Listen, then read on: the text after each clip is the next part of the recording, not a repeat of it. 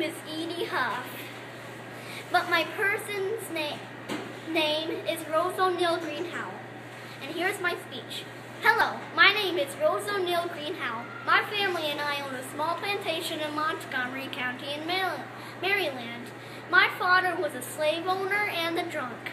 I was born either 1813 or 1814. My birth was not recorded. I was one of five daughters.